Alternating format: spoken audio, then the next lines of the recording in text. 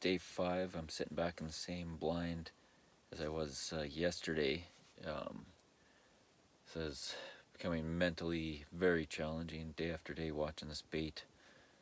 Just uh, waiting for something to come in. Sooner or later something will, but uh, it's just whether or not stick it out long enough or try another spot. But they seem to be coming in, but it's always at uh, about 6, 6.30 at night, which is past shooting light, so they're nocturnal, but there's always a chance that one will come in a little early or, well, we can still see, so that's kind of what we're hoping for, but anyways, we'll just keep sitting here and waiting, but uh, when you're wolf hunting, it's just a matter of wait and see, so I know there's stuff around, there's fresh tracks from last night, um, the bait's been hit again, um, there's wolf tracks that followed me out or followed the road right on my tracks from when I walked out last night um, back into this bait site. There's two of them on there.